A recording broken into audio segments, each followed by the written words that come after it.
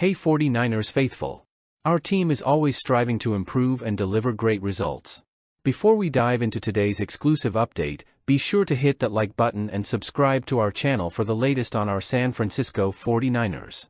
Today, we're discussing the contract situation with our star wide receiver, Brandon Aiyuk. As reported by ESPN's Jeremy Fowler, the 49ers and Aiyuk are not close to reaching a new deal, which has left many fans wondering about his future with the team.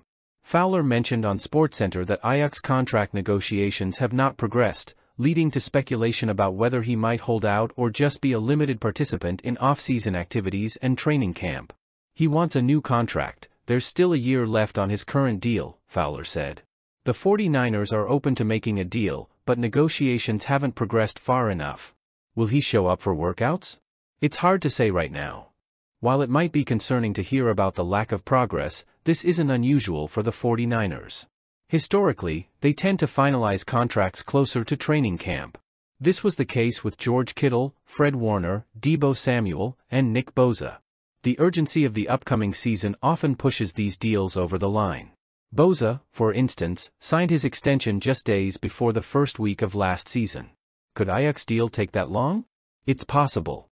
Both Samuel and Bosa admitted their contract issues affected their play that season, so it's crucial for the 49ers and Aiyuk to reach an agreement soon.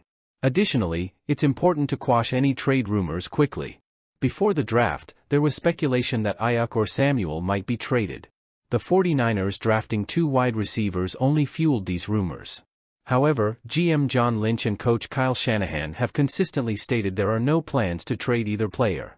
Ensuring Aiyuk is secured with a new deal before training camp would certainly ease fans' concerns. The 49ers start OTAs on Monday, and while it's uncertain if Aiyuk will attend, it's expected he won't participate fully until a new contract is in place. What do you think, 49ers fans? Will we see Aiyuk in action soon? Let us know in the comments below. And remember, if you enjoyed this video, give it a like and subscribe to our channel for more updates. Go Niners!